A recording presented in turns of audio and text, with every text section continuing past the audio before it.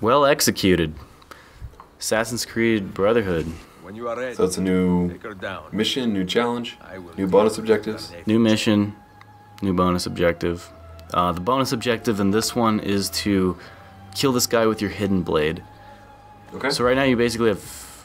Eh, well, the only two weapons I really use a lot throughout the game are your sword and your hidden blade.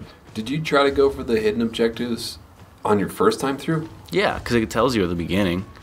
I would I would try until I lost. But is, is it one of those things that like, you know, you would benefit from having a solid run through the game and like knowing how the game works, and then trying it on your second time through, or is it like you can pull it off on your first time through?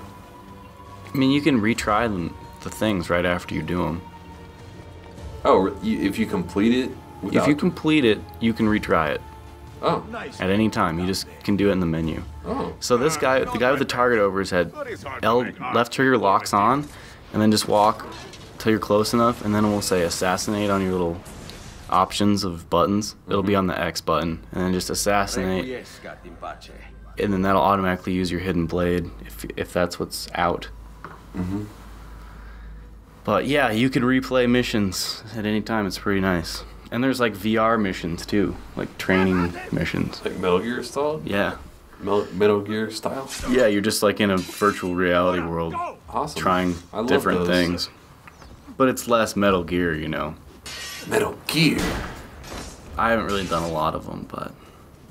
So yeah, the other new thing is like these kill combos.